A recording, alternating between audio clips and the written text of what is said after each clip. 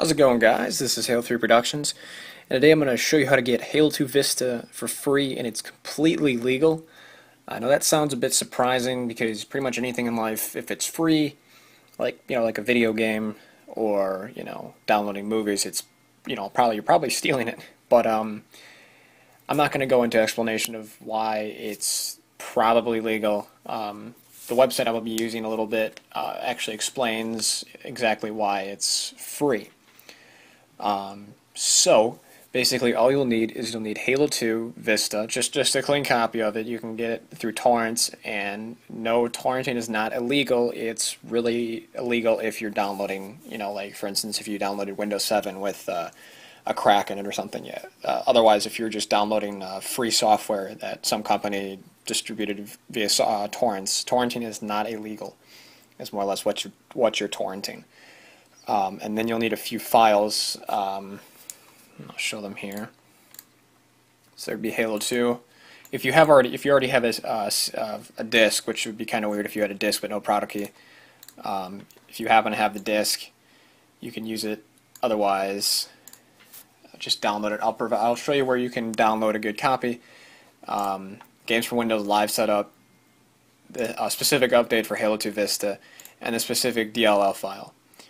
Um, so basically we're going to run the setup, and it's really nothing more than just uh, installing Halo 2 and making a few adjustments. So customize game install, full install, and do not start, continue. And this is virtually the same for Windows Vista and Windows 7.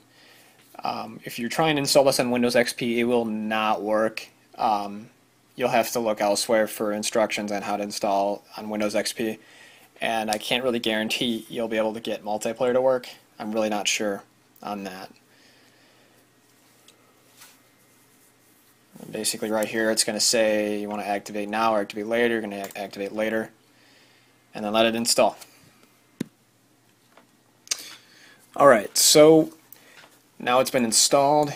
I just cut out the installation part, you know, just letting it, watching it install because there's nothing there. Alright, so we're going to hit OK. And then we're going to install Games for Windows Live. Actually, we're going to just install the update first. I'm not sure if this... I actually uninstalled my Halo 2 uh, to do this tutorial, so I'm not sure. I mean, it may already be installed. It might have been uninstalled with Halo 2 Vista, but it just should be a simple patch. And these are both official Halo 2 Vista stuff. So it's not like this is like a sketchy uh, patch or uh, cracks or anything like that from the internet. You don't have to really worry about that. And then the typical games for Windows Live setup. This is this is like a, a web installer, so it, this does not actually contain Windows Live. Actually, I've already downloaded it. I just forgot. I thought I would have to re-download everything. Like, apparently it's intelligent and it found it all. Wow, that was fast. Okay. I was expecting to cut that out. So all right, we're going to close that. For, for everyone who's doing it for the first time, um, it's going to take a little while depending on how fast your internet is. So it'll download it all and then it'll install. But mine did it faster. All right, the last thing you're going to need to do is my computer is a 64-bit, um, as probably a lot of people's are. Um, so either you're just going to have program files or you're going to have program files 32-bit uh, or x86. Uh, and it, you know, if you don't see x86, then you'll just go right to program files. If you see two of them, go to x86. Because on a 32-bit, it's understood that there's not going to be 64-bit programs on a 32-bit computer. Either way, you, and if you do have a 64-bit computer and you're still confused by this, only one of them is going to contain uh, Microsoft games, and then Halo 2, and then you're going to see the whole listing. And all you're going to do, not actually, I'm actually going to copy it, but you can drag and drop it. Um, we're going to paste that DLL file in there. Technically, it's already in there for me since it's still still left over, but I'm going to say copy and replace and continue. I'm just going to throw that DLL file in there. We're going to close out of that. And then we'll actually go run it. Actually, no, first, no. We're going to go to uh, codehpro.com. I'm already there. I'll put the links in the description for all this stuff. This is actually the website Um, I'm deriving this mainly from the tutorial from uh, Uncut Fighter, but his is 14 minutes long. So I'm just trying to do it much faster than he did it.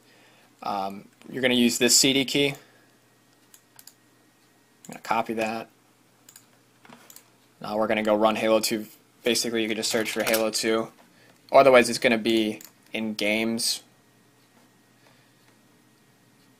So run that. And I believe every single time you start up Halo 2, um, it'll ask you to activate. Um, the activation process is a little bit different in this case since we have the DLL file. Um, it'll actually activate within in the game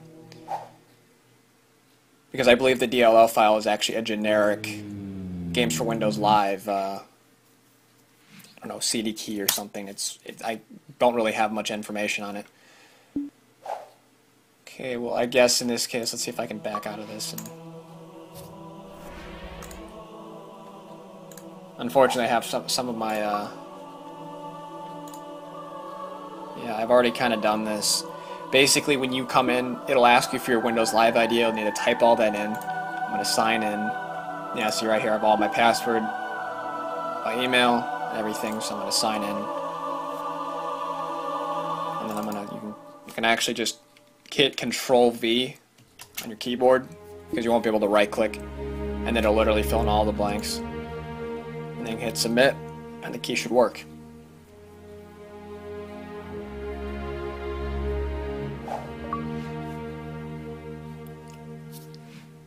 Voila.